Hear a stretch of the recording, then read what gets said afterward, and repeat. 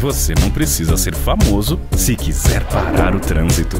Agora em Cuiabá, todo motorista é obrigado a diminuir a velocidade e parar o veículo assim que você acenar para atravessar. Isso é dever para quem dirige e para quem anda na faixa. Quem respeita a lei merece todos os aplausos. Prefeitura de Cuiabá, preparando a capital para a Copa de 2014.